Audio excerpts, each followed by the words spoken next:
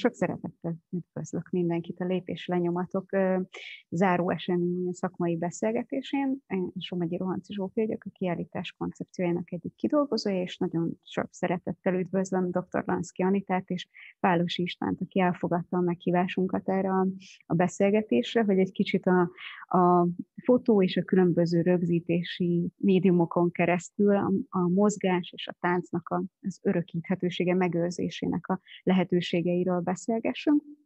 Bemutatom röviden a beszélgető partnereket. Dr. Lanszki Anita, aki a Magyar Táncművészeti Egyetem pedagógia és pszichológia tanszékének egyetemi docense és tanszékvezetője, illetve Pálósi István, aki mozdulatművész, táncos, koreográfus, illetve a Mohának, a Mozdulatművészek házának, a Mozdulatművészeti gyűjteménynek a vezetője, és ez csak egy, egy kisebb merítés abból, hogy mennyi területtel foglalkoztak. Egész nap itt lehetnénk és beszélgethetnénk arról, hogy hogy kapcsolódtok a, a, a kiállítás témájához. Most megpróbálunk egy rövidebb beszélgetésbe ö, belefogni, és ö, rövidebb időkeretbe beleférni. Úgyhogy induljunk ki is abból, hogy, hogy mi a, a központi kérdése és elképzelése ennek a kiállításnak, ami igazából kérdések halmaza, úgyhogy nagyon jól illeszkedik ahhoz, hogy beszélgetésről beszélünk, mert hogy, hogy nagyon-nagyon gazdag témakörről van szó. Úgyhogy leginkább arról, onnan indíthatnánk ezt a eszmecserét, hogy, hogy van a mozdulat, van a tánc, és az egyfajta rögzítés kódolás, dekódolás, tehát hogy mindenféleképpen egy megismerési folyamat, ahogy mondjuk Molnár Levente munkájában a balettáncosnak a szekvenciákra bontásával próbálja megismerni a, a mozdulatnak a mikéntjét, vagy Antal Malvinának a Bolero sorozata, ami, ami egy annyira finom és közben nagyon energiadús táncot, mint a bolero, egy, egy, plastika segítségével próbál meg felfejteni, vagy megrögzíteni, hogy ti a magatok szakterületéből, tapasztalataiból, hogy, itt, hogy, hogy, hogy érzitek, hogy mennyire lehet ezt rögzíteni, ami ennyire pillanatnyi és törékeny, és az adott pillanatra, az adott befogadóra és előadóra van szabva, tehát maga a mozgás, és most direkt használnám a mozdulat kifejezést, ha már a hátam mögött a, mozdulatművészeti gyűjteményből származó hajnalvárás van, hogy ez mik a lehetőségei a, ennek a, a rögzítési folyamatnak. Kezdjük Anitával, aki, aki ezzel a, a, a témával is uh, tudományos módon uh, foglalkozik. Hogy látod ezt a kérdést? Köszönöm a felkérést először is, és egyből passzolnám lehet a labdát azért Istvánnak, mert valójában a tánc az előtte van a rögzítésnek. Tehát nagyon, és egyben gratulálok is a kiállításnak a címéhez, hogy lépés lenyomatok, mert ez a cím azért ennyire találó, mert először is van a lépés, tehát maga a tánc, ami már önmagában egy interpretációja valaminek, hiszen a táncos táncol. Valamit ki szeretne fejezni a testével, történetet, vagy nem történetet, narratívát, nem narratívát, de ki szeretne fejezni valamit, kultúrát ad át, kultúrát közvetít. És ezt tényleg és most itt fotókról és installációkról beszélünk, lenyomatban egy másik művész rögzíti. Tehát visszakanyarodva a mondatom elejéhez, tulajdonképpen az interpretáció interpretációjáról beszélünk, tehát ez egy meta kérdés, vagy egy önmagára visszaható kérdés, és itt a kétféle művészetnek, a táncművészetnek és a fotóművészetnek, vagy vizuális művészeteknek a találkozási pontjánál úgy érzem, hogy itt Istváné kellene, hogy legyen az első szó, hogy a táncnak a lényegét nem lehet megfogni, de mégis az, mint önkifejezés, interpretáció, stb., hogy, hogy annak a pillanatnyisága vagy örökké valósága hogyan ragadható meg, és akkor talán én reflektálok a rögzítési eljárásoknak a, a sokféleségére, hogyha beleegyeztek. Persze, persze. Szerintem igen, először, először azt kell tisztázni, hogy, hogy mi maga a mozdulat, és hogy, és, hogy, és hogy annak mi a valósága. És ugye ezért nagyon nehéz magát a táncot, de inkább a mozdulatszót jobban szeretem rögzíteni, hiszen hát egyrészt az egy valóságos valami, és nem egy fixált dolog, és éppen abban a pillanatban történik, amikor történik. És ezt rögzíteni nagyon, nagyon nehéz, hogy az igazságát vissza tudja adni. Ugye itt jön a, a, a másik művészeti ágnak, a, vagy a, a, abba működőnek a zsenialitása, hogy azt tudja-e visszaadni, annak legalábbis a, a, a megközelítőleg az élményét annak a valóságos pillanatnak, mondjuk egy fotón. De ha például mondjuk más rögzítési formáról beszélünk, akár egy, egy képzőművészeti alkotásról, ugye az már egy sokkal elemeltebb és absztraktabb rögzítése, tehát nem a konkrét pillanatot akarja rögzíteni, hanem az élményét próbálja visszaadni valamivel. És akkor itt jön megint a következő kérdés, hogy lehet-e a táncot vagy a mozdulatot rögzíteni, vagy kell-e egyáltalán például rögzíteni. Tehát nyilván kell, és ezen már ugye több száz éve gondolkoznak sokan, hogy ezt akkor hogyan lehetne jól. Ugye nagyon sokaknak bele is tört a, a bicskájuk ebbe, és nagyon sokféle próbálkozás volt, hogy hogy lehet ezt jól rögzíteni.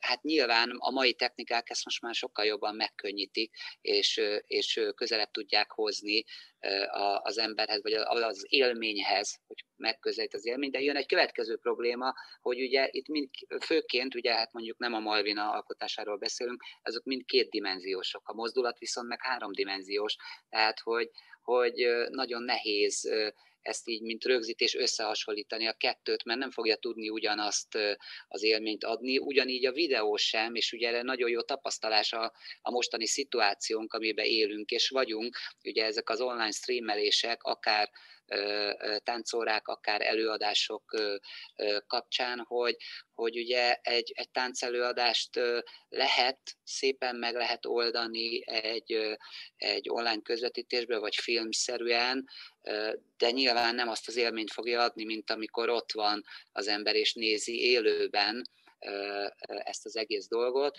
Ha már táncfilmről beszélünk, az meg már egy megint egy másik, egy következő réteg a dolognak, hiszen akkor ott már tulajdonképpen a mozdulat vagy a művész tulajdonképpen csak egy eszköz egy újabb alkotásnak, és akkor ott már sokkal inkább az operatőr szeme, illetve a vágónak a kreativitása az, az, ami létrehoz egy új alkotást, és tulajdonképpen a mozdulat, vagy a táncos, vagy a táncművész tulajdonképpen egy alkalmazássá válik, és, és nem az lesz a fő szempont, mint például egy élő előadásnál. Tehát, hogy ezek ilyen nagyon izgalmas rétegek. Hát, ha meg táncírásról beszélünk, hát most biztos meg fognak kövezni, de hát szerintem ugye az, az meg egy nagyon, nagyon nehéz és nagyon macerás történet, hiszen a mozdulat annyi mindenből tevődik össze, és annyi szelete van, és annyi, annyi része van, hogy, hogy, hogy azt leírni, úgymond verbalizálni, vagy esetleg geometriai formákat használva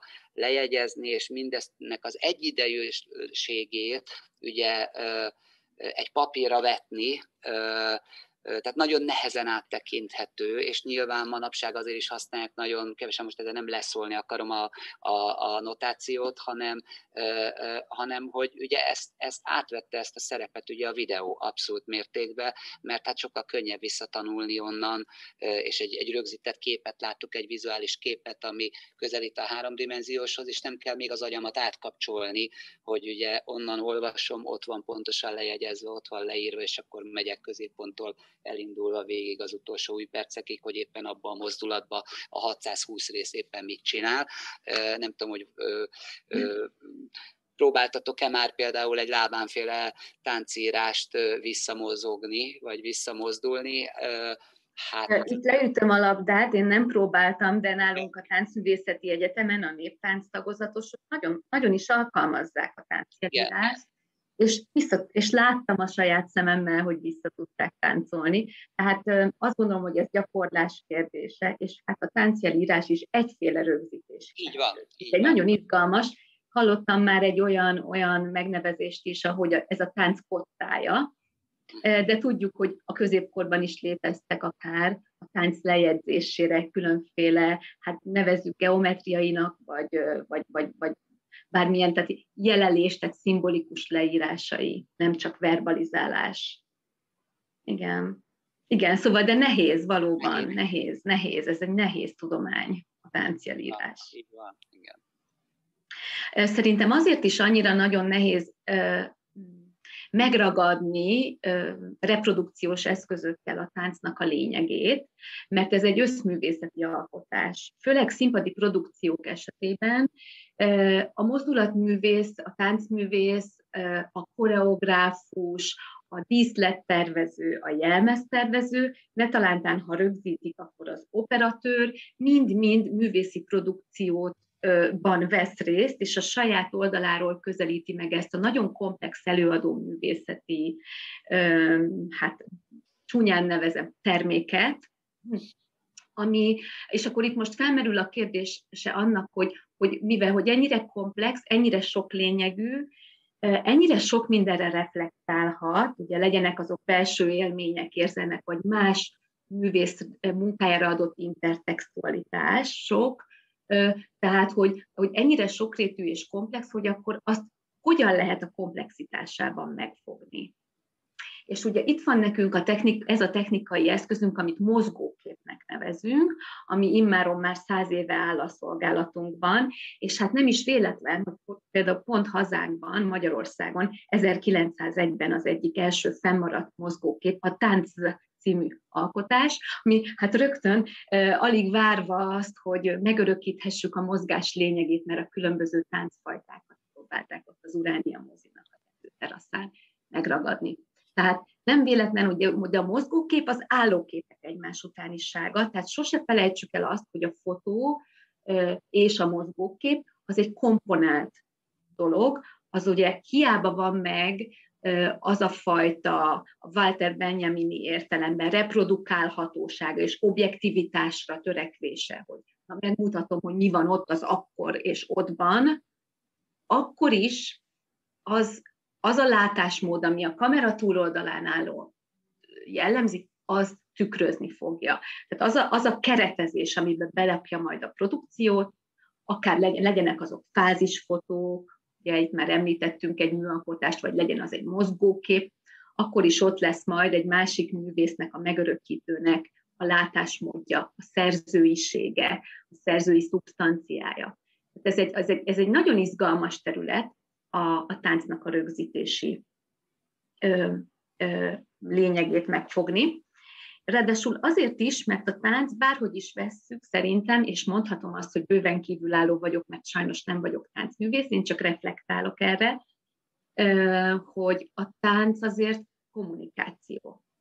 És a tánc az kultúra kommunikáció. Sőt, tovább megyek, Merlin Donaldi értelemben ez egy mimetikus kommunikáció, a metakommunikáció, ami nyelv előtti. Tehát itt is felmerül a kérdés, hogyha mondjuk le akarjuk írni a, a táncot meg akarjuk ragadni, akkor nyilván nyelvi eszközökkel sokszor nehéz lesz bennünk.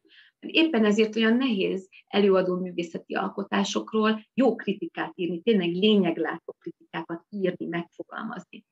És itt nagyon-nagyon jó, hogy pont egy vizuális eszköz áll az emberiségnek a, a rendelkezésére, hogy megragadhatja egy ennyi a metakommunikatív dolgokat. És hát nagyon sok mindent felírtam itt magamnak, amikor átnéztem a kiállítás anyagát, és itt most egy picit meg is állok, mm, hát ha nektek van kérdésetek, vagy ehhez hozzáfűzni valótok most, vagy nem, akarom itt, nem akarok itt monologizálni sokat. Igen, én csak, én csak annyit tennék hozzá, hogy ez nagyon jó, ez nagyon tetszett ez a megközelítés, hogy nem lehet verbalizálni a táncot, vagy legalábbis nagyon nehéz verbalizálni, hiszen nem, nem azon a kommunikációs síkon működik. És, és ezért jó, hogy azért megjelent a fotóművészet, meg, meg megjelent a filmművészet, mert, mert maga a, a létezésünk is, hát azt is vizuálisan fogjuk föl, és akkor ez sokkal könnyebben lehet vizuális művészeti eszközökkel rögzíteni, de nyilván nem fogja tudni azt a pillanatot visszaadni, amit, amit a valóságban átélünk. Igen, pedig egyébként pont André Bazin vagy Roland Barthes is azt mondja, hogy, hogy azért a fénykép, hogyha már tényleg beszélünk most a fényképről, ami megelőzte a mozgóképet, tehát hogy azért az dokumentál, megörökít, tehát a valóságnak az illúzióját, illúzióját lenyomatát képezi. Tehát kvázi még Roland Barthes azt is mondja a világos kamrában, hogy bizonyítékerejű, hogy az akkor megtörtént. Igen, csak itt, itt bennem az merül föl mindig, hogy aki tényleg készíti, az, az mit láttat, mit enged be a téglalapba, ami álló vagy fekvő, igaz? Milyen töredéket szakít ki a térből, mert a, a mozgás, a tánc, az dinamikus. Az olyan, hogyha beáll oda valaki kamerával, és készítsen vagy fotót, vagy videót, az mindig csak egy töredékét tudja annak, a, a, csak egy-egy pillanatot tud onnan kilőni, és abban a pillanatban kell azt az aurát visszahoznia, és most megint egy fotóelméleti kifejezést használok, az aura, ugye ez Walter Benjamin használta ezt a kifejezést, hogy az az aura vajon visszajön-e, amilyen aurája volt annak a táncelőadásnak. Tehát képes-e arra a kamera túloldalán álló személy, művész, nem művész, egy személy, hogy, hogy megragadja azt a dinamizmust, azt az aurát. Mert hogy ki kell merevíteni a mozgást mert ez egy kimerevítés. Hogy hogyan tud mégis dinamikusan láttatni. És azt hiszem, hogy ebben a kiállításban, vagy ebben a kiállítási anyagban erre látunk nagyon izgalmas példákat, és hogyha majd esetleg végigmegyünk egy-két fotón, vagy egy-két alkotáson, itt meg tudjuk nézni azt, hogy aki készítette ezt a reprodukciót, vagy megpróbálta megragadni a táncot, az milyen eszközökkel élt, milyen képi kifejezési eszközökkel élt ahhoz, hogy bemutassa annak a táncnak a forgásait, pillanatiságát, auráját, lényegét. És ezért mi, miért vonultak be a fotótörténetbe, vagy a táncfotótörténetbe ezek az alkotások maradandóan? Hát ezért, hogy majd megnézzük, hogy esetleg, hogy, hogy a történés auráját hogy sikerült megörökíteni, ugye itt Benjamini értelemben auráját. Sőt, mi több ez, hogy ehhez kapcsolódnék, mert szerintem ez egy nagyon izgalmas kérdés, vagy engem ez izgatott a legjobban a kiállításban, hogy, hogy van ez a leírat, tehát hogy, hogy pont a, a, az MT anyagából is válogattunk, hát közel olyan nehéz volt, mint a, a Moha anyagánál, csak ott a Borecki Ágnes és a Pálos István segítettek ebben, a, hogy, hogy pont kifejezetten keleti évának az extázis képére elkezdtem rákeresni, hogy hiszen az azért tudható, hogy melyik előadásom volt, mi a szövegi háttere, és iszonyú izgalmas volt, hogy például a Filmszínház muzsikában lévő beszámoló ugyanarról az előadásról, amint keleti éva ott állt és fotózott, ott Persze nem lehet verbálisan leírni szavakkal egy ilyen összetett és komplex dolgot, ahogy mondtad is, mint a tánc, de hogy közben van egy plusz értéke, egy plusz leírata, hogy a kort leírja a szöveg. Hogy, és ez valamennyire a fotóban is benne van, de a szövegben még jobban megfogható az, hogy milyen nyelvezetet használ, hogy hogy közelítettek ezekhez a táncosokhoz a korabeli újságírók. Arról meg nem is beszélve is, hogy, hogy ezek eredetileg sajtótermékekbe készült fotók miközben van egy nagyon erős művészi értékük is. Illetve, hogyha már nem véletlenül került a kiállításba Molnár Levente munkája ide a sajtószekció részhez is, hiszen lehet látni ezeknél, hogy, hogy a keretelés maga, hogy amikor kontaktképeket nézünk, ott már van egy szelekció. Tehát már van egy utólagos, van egy ott a helyszínen történő keretelés, amivel szűri a valóságot, és van egy nagyon sajátos nézőpontja, hogy jó, persze talán Kelet Évának egy interjújában olvastam, hogy ott nem volt szabad választás, hogy ho- hova áll a, a fotózásnál, oda állították, és abból kellett kihozni a legtöbbet. De hogy van egy utólagos szelekció is, arról nem is beszélve, hogy maga az üzenet az, az változik onnantól kezdve, hogy milyen környezetbe kerül. Teljesen más ugyanaz a kép a korabeli sajtóban, egy tanulmányban, vagy itt nagyra felnagyítva, paszpartuzva, bekeretezve egy kiállítás képeként. Tehát ugye ezek olyan szinten elkezdik módosítani az eredeti üzenetét, hogy, hogy, hogy kapcsolódnék Istvánhoz, hogy lehet-e, kell-e, ebbe, ebbe, itt nincsen százszerzelékos eredmény, hanem mindig van egy plusz tartalom a kép mögött, attól függően, hogy hogy olvassuk, vagy hol olvassuk azt a képet. Én azt gondolom, azt gondolom, hogy kell, hát mindenképp kell, tehát hogy kell a rögzítés. Az a következő kérdés inkább, hogy mi a rögzítésnek a célja mert, mert amíg ez nincs tisztázva, addig nincs tisztázva az eszköz se, meg az, hogy, az, hogy, hogy, hogy milyen szemszögből rögzítünk. Tehát, hogy valami csak egy dokumentarista módon, hogy, hogy az, az képről képre meglegyen, képkockákra, és, és vagy pedig hozzáteszünk egy művészi látásmódot, és egy új szemléletet, és akkor itt jön mindig egy ilyen ellentmondás, hogy melyik művészi alkotás az erősebb és hogy az egók, amikor így ütköznek. Tehát, hogy van egy műalkotás, és akkor, és akkor mondjuk van egy, és most direkt nem mondok neveket, élő neveket, tehát, hogy van egy, van egy, van egy nagyszerű előadás, egy, egy 3D-s valami, aminek ugye van egy élménye, és, és aztán jön egy, egy mondjuk egy fotóművész, aki viszont meg ebből egy új alkotást akar kreálni, és a saját látószögéből, és, és tulajdonképpen semmi köze nem lesz a képnek az előadáshoz, és az előadás mondani valójához, de közben lesz belőle egy csodás fotoművészeti alkotás. És akkor ugye ez is egy ilyen fontos kérdés, hogy, hogy most ki, ki alá kerül, vagy, vagy, vagy, vagy egyenrangúan vannak ott, és ettől még nem válnak, mondjuk én nekem, én nekem legalábbis az én szívemhez az áll a legközelebb, amikor egyenrangú, ez a két különböző művészeti ág, egyik se nyomja le a másikat, hanem egy közös szélért dolgozik akkor, én az, azokat a fotókat szeretem. De hát nyilván van, amikor valakinek az egója ennél erősebb, és akkor, és akkor mást készít belőle. De mondjuk ez akkor nem zavar, hogyha mondjuk van egy fotós workshop, és akkor az tényleg arról szól, hogy táncosok, mint modellek vannak ott és táncolnak, akkor ugye sokkal nagyobb szabadsága van például egy fotósnak, mint amikor mondjuk a Kármina Buránát fotózza. Tehát akkor, akkor nem lehet ő a fontosabb, hanem ott mondjuk annak kell megjelenni, és annak a művésznek kell úgy abban nézetbe és abban az élménybe megjelennie. Maximum ugye ez az ő látásmódját adhatja vissza, de hogyha ő már arra rányomja teljes mértékben a saját bélyegét, akkor nekem már az úgy mindig egy kicsit sántít a, a, a rögzítésnél. Tehát, hogy, és hogyha nem a fotós rögzítést nézzük, hanem mondjuk az írásbeli rögzítését nézzük, ugye, ami egy jóval nehezebb folyamat, ugye hát akkor ott meg a szubjektív jelek, és talán visszatérve az Anitához, hogy miért például miért a néptánc nál terjedt el jobban a lábánféle ö, ö, táncírás.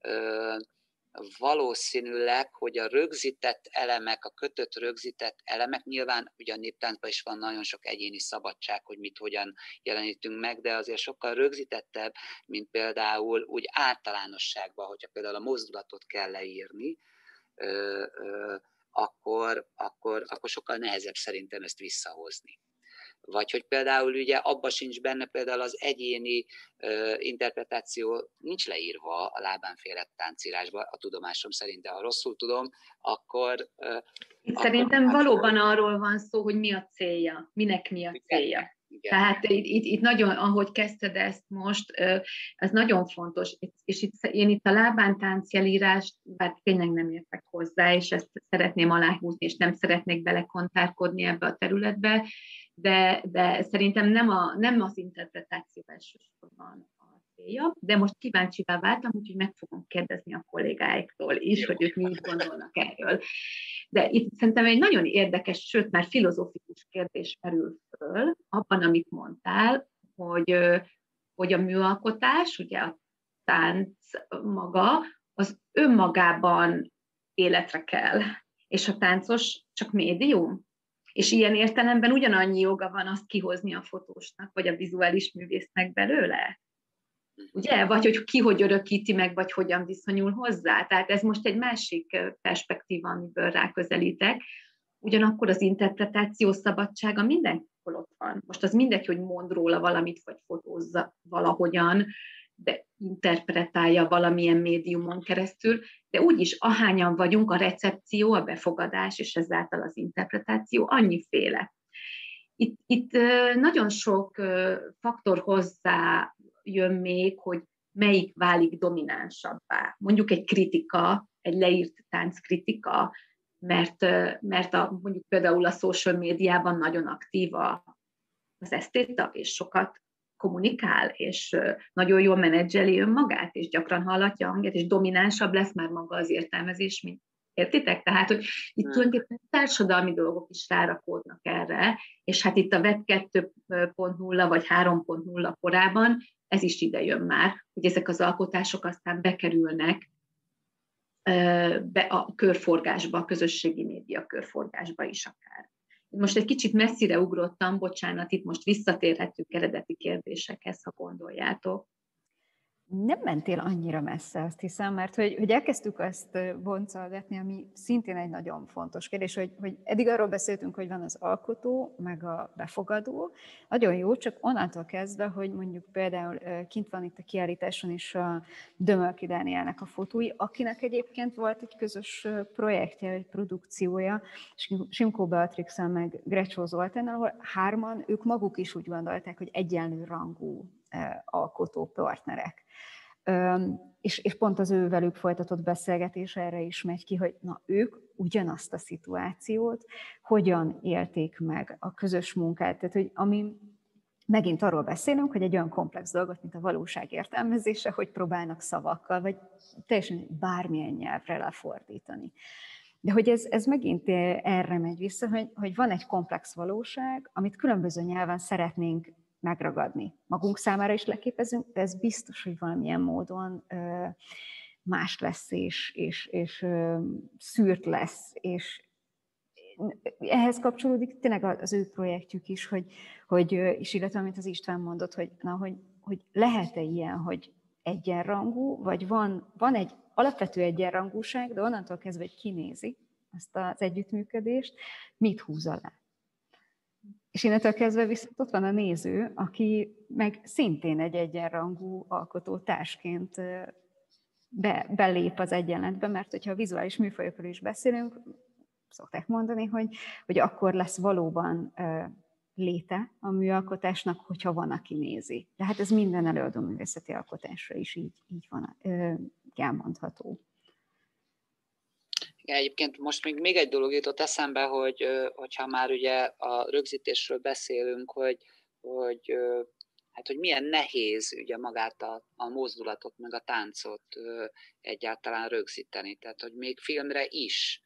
Tehát mert ugye most is minket is rögzítenek, ülünk, beszélünk, és, és ugye egy verbális kommunikációt használunk, és annyira nem fontos a vizualitás, tehát inkább a tartalma, a mondani valója a, a lényegesebb. Nyilván van, aki mondjuk a, a a körítést is nézi, hogy mi van körülöttünk, hogy virág, vagy könyv, vagy kép, vagy, vagy akármi, de hogy ugye ez egy sokkal egyszerűbb szitu. De amikor elkezd valami mozdulni, és, és hogy annak az élménye vissza tudjon jönni egy fényképen, illetve ugye egy, főleg, hogyha fotóról beszélünk, ugye, hát a, az állókép az egy póz, hát az, az csak egy szelete a táncnak egy nagyon fontos szelete, persze, de, de hogy ugye ez is milyen izgalmas, hogy például úgy, hogyan lehet, például a keletévának is ugye a, a fotójában az az izgalmas, hogy az mozdulatban készült fotó lett pózzá merevítve, és miközben egy állóképet látok, tulajdonképpen megmozdul az a, az a, az a kép. És, és én ezeket nagyon szeretem, mert az, amikor valami beáll egy táncos egy pózba, és azt lefotózzák, abból is lehet csodálatos, gyönyörű műalkotás, és nagyon szép kép, de egyáltalán nem biztos, hogy meg fog mozdulni. Ha igazán jól van maga a kép, az én vízióim nem indulnak el, hanem látok egy szép pózt. De amikor látok egy olyan fotót, hogy tulajdonképpen ez egy kimerevített póz, de én, mintha bennem élne tovább az elő és az utóélete tehát mintha táncolna, ma, ugye tök ellentmondásos, mert hogy táncolna az a kép, hát nem tud táncolni, az póz, az egy kép, de közben mégis, hogyha az nekem elkezd táncolni, számomra akkor válik az egy igazán jó lenyomatnak mondjuk egy, egy előadás pillanatában. Igen, ezt a dinamikát nagyon nehéz visszaadni, Igen. és például az említett Keleti Éva fotón, szerintem ez nagyon jól sikerült, és az az érdekes, hogy pont hétvégén voltam a, a Rád György villában, ami az Iparművészeti Múzeumnak a most hát jelenleg működő egyik kirendeltsége vagy egysége, és ott láttam egy nagyon izgalmas szecessziós lámpát, ami Louis Fuller-t ábrázolta, ez egy, tényleg egy francia szecessziós lámpa volt, és Lás alkotta, és, és ugyanez a dinamizmus volt meg benne, mint a keleti éva fotóban, ahogy, ahogy Fuller táncol, és ugyanezek a karmozdulatok, és ugyanez a, tehát nagyon hasonló volt. És aztán elkezdtem gondolkodni, ez az egy alkalmazott művészeti alkotás volt, ez egy lámpa. De elkezdtem gondolkodni ezen, hogy, hogy plastikában megragadni, tehát szobor formában is meg lehet ragadni a táncot, ami hát annál merevebbet, ugye, mint egy szobor, bár láttunk már dinamikus szobrokat is, tehát itt most félreértés ne e, legyen, de azért főleg ugye, ha valaki azt mondja, szobor annól a merevség jut eszünkbe, például Dögának a táncos ábrázolása is eszembe jutottak, vagy Matisznak, ugye, akiknek szintén van szoborban is táncábrázolások, de mégsem volt annyira dinamikus, vagy számomra nem annyira dinamikus, mint ez a lámpa. Vagy például ez a bolero alkotás, ami a kiállításnak is a részét képezi, ami engem azért fogott meg annyira, bár sajnos nem láthattam élőben, még csak virtuálisan, mert hogy, hogy anyagszerűségek is vannak benne, és szerintem a tánc, mint annyira fizikai jelenség, egyszeri és fizikai, hogy, hogy azért ott vannak minőségek, anyagminőségek, fizikai anyagminőségek, és nagyon érdekes volt nekem, hogy pont a bolerót próbálta meg így megjeleníteni az alkotó, mert a bolero egy nagyon repetitív mm, alkotás zeneileg, és hát táncos szempontból is láttunk már olyan koreográfiákat, amik repetitívek voltak, és hogy ő is rétegzett valahogy, ré, rétegezte az anyagminőséget, és szerintem ez nagyon izgalmas továbbgondolás volt. És például ez egy rögzítési lehetőség. De hogyha a fotókhoz visszatérünk, a kiállítás anyagainak fotóihoz, most megnyitottam magam előtt közben, tehát például Benkő Imrének az alkotása, ugye ő is alkalmazott művészként készítette ezt, az MTV, MTV archívumban látjuk, tehát valószínűleg MTI megrendelésre készített egy fotót a táncház találkozóról. Szerette volna valószínűleg, azt abban nem tudhatom, ugye sose tudhatjuk, mire gondol a művész, meg, meg, megragadni azt a forgatakot, a táncháznak azt a kicsit zsúfolt, kicsit örvénylő forgatagát, és nézzétek meg majd a képen, hogy mennyire érdekes, hogy a felső kamera beállást egy, egy nagyon nagy totál, egy nagyon széles totálba keretezte ezt a képet, vagy ezt a valóságot, és ez is szerintem nagyon érdekesen visszaadja a táncháznak a hangulatát, és ha már a filmet is behoztuk itt a beszélgetésbe, és István, mi erről már annó beszélgettünk, mikor egyetemre járt még hozzánk, hogy, hogy például a filmmusicalnek a, az egész korai ősi szakaszában is megjelent ez, hogy felülnézetből ragadták meg a, magát a koreográfiát, hogy a, hogy a térbelisége kicsit jobban kidomborodjon a magának a táncnak. Érdekes, hogy, hogy, hogy szinte közeli képkivágásokkal alig találkozunk tánc megjelenítéseknél. Tehát, hogyha végigpörgetjük ezeket a, az alkotásokat, mindig azt látjuk, hogy az egész alakszinte látszódik, vagy felülnézetből, vagy oldalnézetből, mert a mozgást fotón, vagy mozgóképen is akár így lehet a legjobban megragadni. És ugye itt most arra próbáltam válaszolni, István, amit föltettél kérdés, hogy hogy lehet megragadni. Uh-huh. Igen, mondjuk a táncfilmnél, ami meg mondjuk már táncfilmnek készül, ott pont, hát vagyis hát van egy olyan válfaja is, amikor pont az ellenkezője történik, tehát amikor olyan mikro, Igen. meg makró, meg más szögből ö, jövő dolgok, tehát pont amit, amit mondjuk színházban néző nem tud megtenni, vagy nem, nem, nem láthatja, mondjuk nyilván a föllőről is egy kicsit ilyen, de, de hogy, meg hogy ezeknek a tükröződője, szerintem ez egy nagyon izgalmas terület, és a, a ma és a jövő generációjának ugye most már ezekkel az új okos telefonokkal, tehát most már nem kell drága kamerákat vásárolgatnunk, meg, meg már tényleg ingyenes vágóprogramokat lehet letölteni, hogy én, én ezt egyébként használom is a növendékeimnél, hogy, hogy minden évben adok ilyen feladatot nekik, hogy, hogy mint táncosok használják ezt a technikát, és készítsenek rövid kis apró táncfilmeket, és akkor, mhm.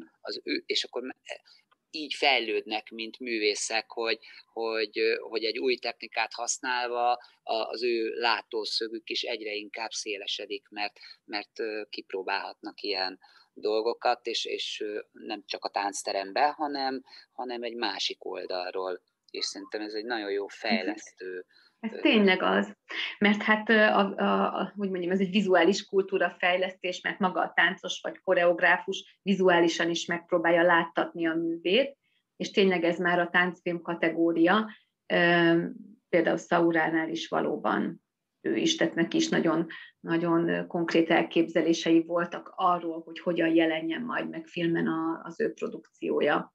De például, amit említettem, Busby Berkeley, ő is, ő maga is, mint koreográfus rendező, ő döntött amellett, hogy, hogy a nagy totálokat hogy kell alkalmazni, vagy hogy nem kell alkalmazni. Tehát valóban itt most megint visszakanyarodtunk ahhoz, hogy a magának a táncos alkotónak van-e abba beleszólása, hogy azért majd hogy jelenjen meg, hogy vagy pedig az egy teljesen különálló dolog, és új kontextusba kerülő dolog, hogyha megjelenik egy harmadik fél, aki rögzíti. Illetve van-e rálátása a táncosnak? Mm-hmm. Tehát, hogy, hogy szerintem ez is egy, tehát, hogy, hogy ez, ez egy teljesen más nézőpont. Abszolút. ami meg, tehát, hogy, hogy, hogy igen, egy közös látásmód akár, tehát egész biztos vagyok benne, hogy kell, hogy legyen rálátása és beleszólása, vagy legalábbis beletekintsen abba, beletekintsen abba a közvetítési módba, amit a, a fotós vagy a, a filmkészítő alkalmaz, de hogy nem hinném, hogy tud, vagy én nem voltam még a kamera azon felén, úgyhogy nem tudnám elmondani. Nagyon nehéz kérdés ez szerintem. Nagyon-nagyon nehéz, és szerintem megosztó kérdés. Abszolút. És, és ugye ezek működési formák, tehát hogy ha, ha van egy egyenrangú együttműködés, ö, ö, akkor ö, az, az, az működhet úgy is, de lehet olyan szituáció, hogy a táncosnak például egyáltalán nem kell tudnia, és, és mondjuk aki a kamera másik felén áll, ő egy teljesen önálló tevékenységet végez, és egy létező valóságból létrehoz egy új valóságot.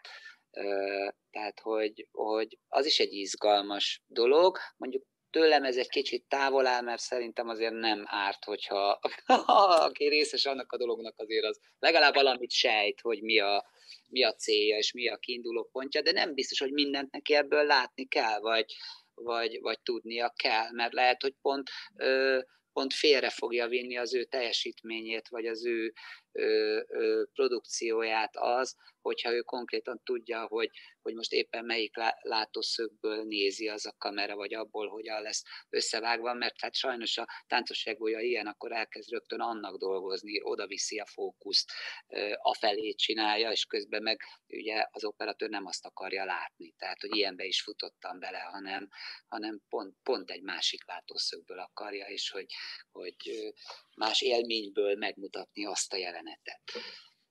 Úgyhogy ez, ezek, ilyen, ezek ilyen nagyon-nagyon izgalmas feladatok. Én még visszatérnék az Anitához erre, az, erre a, a, ugye, ugye a plastika, tehát hogy a szobor, ként megjeleníteni magát a mozdulatot, meg a táncot, hogy ez mekkora kihívás, és milyen kevesen vállalkoznak erre, hogy, hogy ugye egy mozduló testet megformázzon.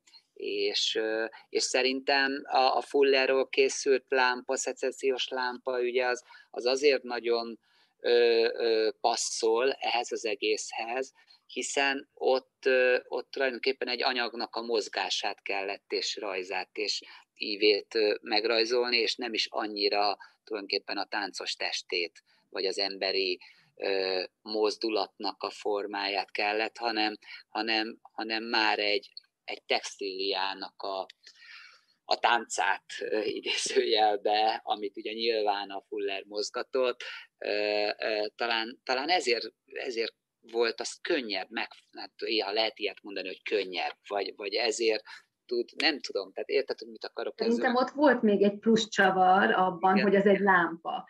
És szoktuk azt mondani, hogy a táncos világít a színpadon, vagy ah. a színpadon, és hát ez, ez, ez teljesen lenyűgöző volt, és ez egy aranyszínű szobor, egyébként fönn van a, a Rágygyörgy Villa honlapján, meg tudjátok nézni.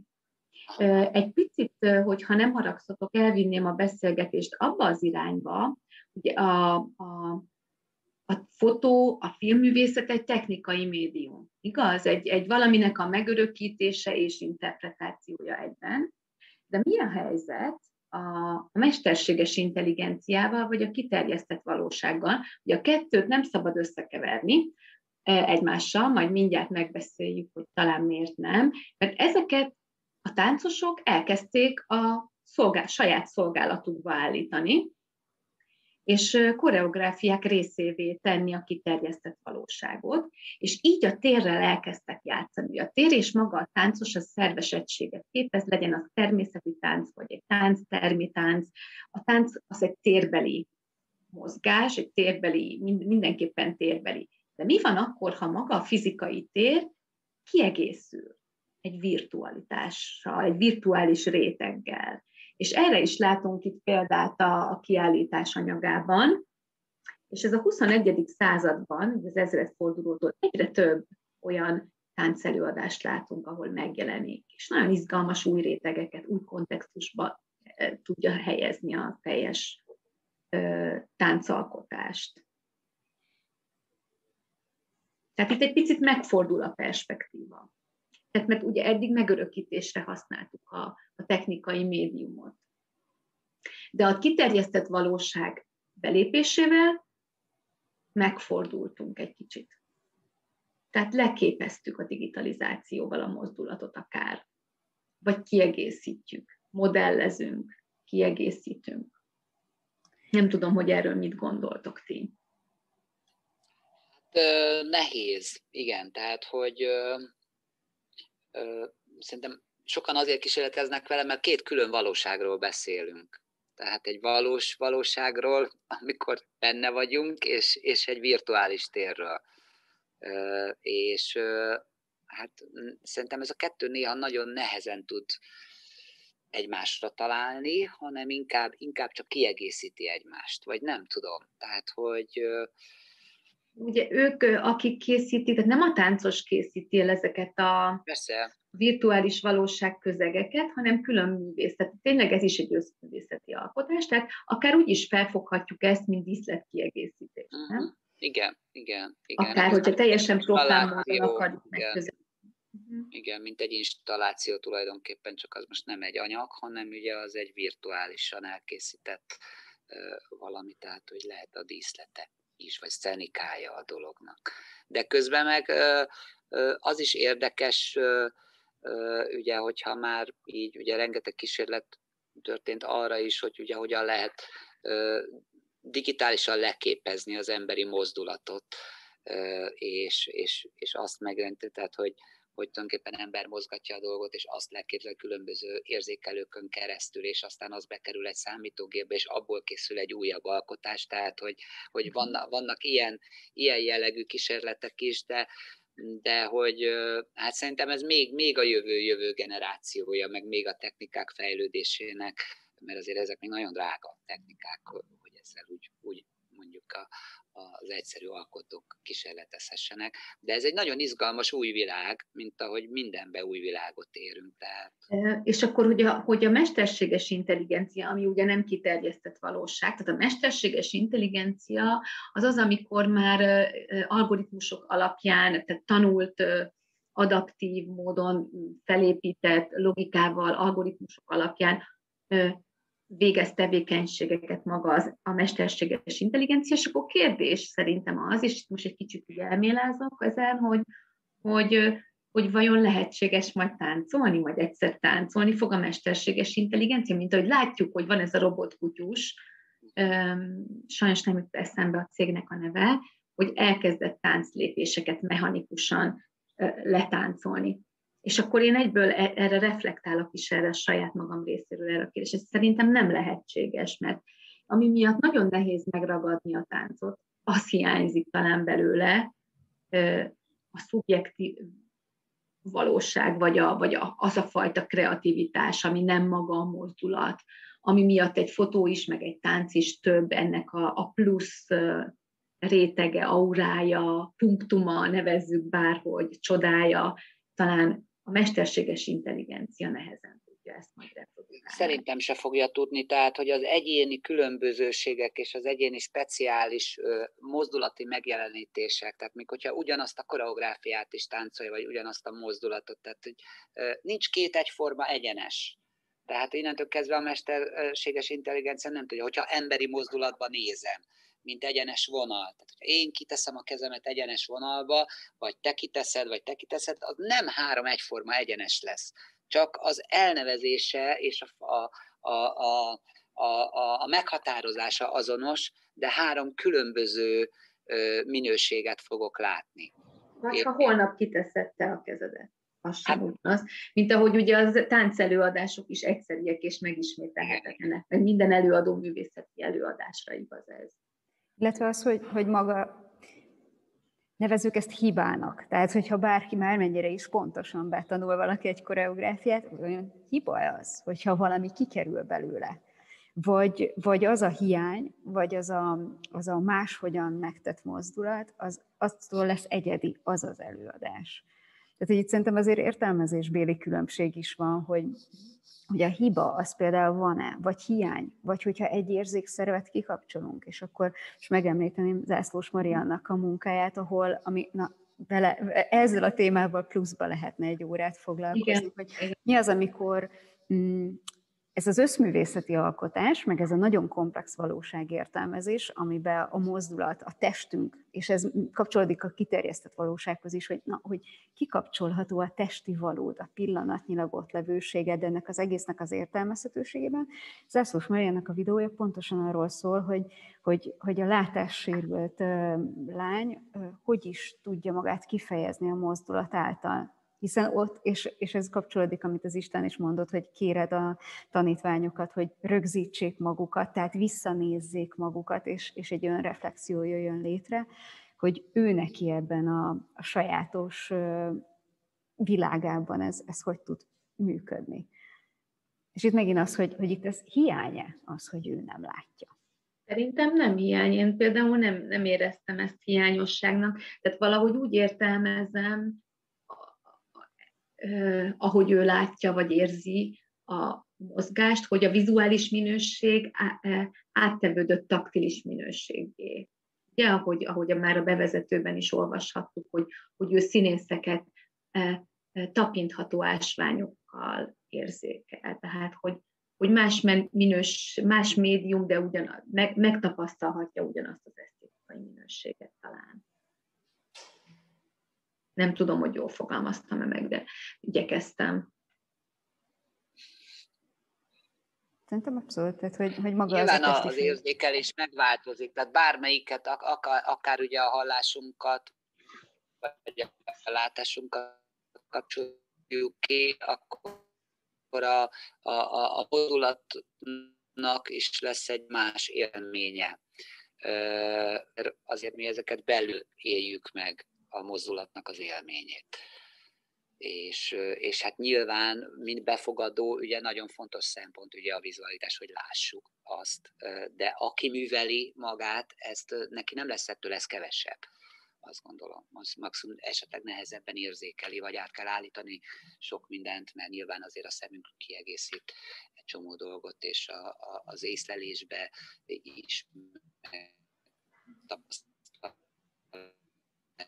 is, a táncba is segít sokat, de, de például nagyon sokszor ugye hát lekötjük azt, vagy becsukjuk a szemünket, és úgy, úgy érzünk meg mozdulati minőségeket akár dinamikai, akár formai különbségeket is, hogy közbe, közbe kikapcsoljuk teljes mértékben a látásunkat, és, és úgy megtalálni tudatosan, hogy az akár térbe pontos legyen, vagy akár erőbevitelbe az történjen, és akkor ezek is ilyen nagyon érdekes játékok, de hát itt már tánctechnikáról beszélünk inkább, hogy, hogy, hogy milyen, de ez, ez ugyanúgy vonatkozik erre az alkotásra is szerintem. Technikai észrevétel, 50-60, úgyhogy a technikai időnk az, az kezd lassan lejárni, hogy ö, én egész kereknek érzem így meg, hogy igazából nem is lehet kerek, mert ez annyira komplex dolog. Tehát, hogy én még úgy terveztem, hogy a végpontja az a, a hátam mögött látható száz év, mm, hogy van-e annyi időnk még, hogy ezt belevegyük, Persze. és ezzel zárjuk le. Megvárnak a bizonyítványosztásra. Jó. És mit szeretnél róla, hogy mit, mit mondjak el? Mert az röviden. Um, igazából az, hogy, hogy, hogy amikor az egész kiállításon elkezdtünk dolgozni, akkor nem is volt Szabó Zsófival és Tejdő Zsófival ez a célunk, hogy a, ezt, a, ezt a teljes valóságot lefedjük, mert nem lehet. Tehát, hogy több mint száz éves hagyományról beszélünk, csak hogyha arról beszélünk, hogy 1901-ben felveszik a, az első táncfilmet, és akkor még a fotókról nem is kezdünk el beszélni, tehát egy sokkal ö, régebbi, hosszabb történetről van szó. Viszont ö, amikor megkerestünk ö, téged, akkor ö, István, akkor, akkor egy, szerintem egy elképesztően nagy feladatot adtunk, hogy ö, akkor van-e olyan olyan táncprojekt, ami a lehető legtöbb médiummal történt leképezi, tehát amit a legtöbb médiumon keresztül tudunk bemutatni. Ami legyen szó akár a, a térformációk leképezésről, tehát itt már a notációs rendszerről is volt szó, ami akár újjászülethet, mint vizuális elem, ugye Vida Szabolcsnak a munkáiban is, egészen odáig, hogy ti egy komoly kutató munka segítségével megpróbáltátok a lehető, a megmaradt emlékeken keresztül a lehető legtökéletesebb, tehát dokumentum rekonstrukció formájában életre kelteni ezt az egykori misztériumjátékot. Hogy ezt és te szerepelsz is benne, tehát táncosként is, kutatóként is, koreográfusként, rendezőként is, mindenféle módon részt vettél benne, hogy, hogy ezt te hogy, hogy élted meg, vagy akár el tudod képzelni azt, hogy egyszer majd a virtuális valóságba kerül be egy harmadik lépésként ez az előadás. Hát igen, ezt nem tudhatjuk, ez majd meglátjuk. Igen, ez, hát abban a szempontból szerencsések vagyunk, hogy, hogy ö, ö, sok minden fönnmaradt, de mégsem. Ö, tehát, hogy valamilyen szinten ugye lehetett, ö, és azért jó ez a szó, hogy dokumentumhű rekonstrukció, mert azt gondolom, hogy ö, amiről nincs felvétel, azt nem lehet pontosan rekonstruálni teljes mértékben pontosságba rekonstruálni, de hát például ennél a 1925-ös műnél azért maradtak fönt térrajzok, sorrendeknek a leírása, az, hogy beszámozva, hogy melyik ember hol áll, hogy tartja a karját, milyen, milyen irányba mozdul el a következő képbe, megmaradt a, a, a tulajdonképpen a, a, a zenei kotta, megmaradt a, a, a, a, a szöveg hozzá, tehát amit, amit ugye a kórus énekel.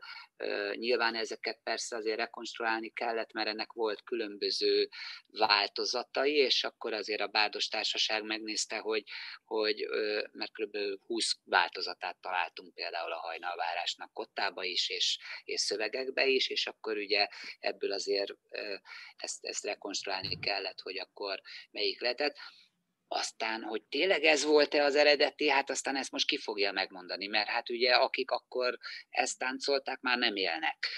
Még ugye egyetlen élő ember volt, amikor mi ezt 2001-ben rekonstruáltuk, a dr. DNS Gedeon, de hát ugye hát 70 év távlatából már ő sem emlékezett rá pontosan, hogy most az a, az a görög dallam az ott tényleg pont úgy volt, vagy esetleg három-négy hanggal lejjebb volt. Tehát, hogy ennyire pontosan nem tudott ő se vissza, mint ahogy a mozdulatokra se tudott mindenre, viszont hál' Istennek maradtak fönt fotók a térrajzok mellett, és akkor ezekből mindig szépen össze lehetett szemezgetni a, a dolgot, és akkor én azt gondolom, hogy egy rekonstrukciónál nagyon fontos, mint előadó művészet, hogy egy mai szenika kerüljön mögé, tehát hogy nyilván nem csak úgy, mint régen, hogy a Zeneakadémia előtt éppen a Zeneakadémián volt egy fekete függöny, és akkor volt három lámpa, és azzal előadjuk, tehát ezt ma már ugye a 20. században vagy a 21. században ez, ez már kevés, tehát hogy ezekhez mindig hozzá kell nyúlni egy kicsit, de ettől ez még dokumentumhű rekonstrukció marad. Jöttek, értem, úgy érzem. Bocsánat. Rendben. Hát az idő, az, az egész biztos, hogy egy faktor volt az egész kiállítás szempontjából, sőt az egész kérdéskörben, amit itt most már, amiben belekaptunk és belekezdtünk, és még lehetne folytatni. Szerencsére, ha már a, a Anita behozta ezt a, virtuális világot, online formában fennmarad a kiállítás, tehát bár június 5-én elbúcsúzunk a lépés lenyomatoktól itt a DEC 17 galériában, de fent marad online formában, illetve azok az anyagok, amiket elérhetővé tettek az alkotók illetve a gyűjtemény. Én köszönöm szépen ezt a beszélgetést veletek, illetve egy, egy valaminek a kezdetét, mert szerintem ezek, ezeket még, még, még mindig csak kérdéseket tettünk fel, de jó ilyen kérdésekkel elkezdeni foglalkozni. Remélem, hogy folytatni fogjuk majd a későbbiekben. Mi is köszönjük. Köszönöm, köszönöm szépen. szépen.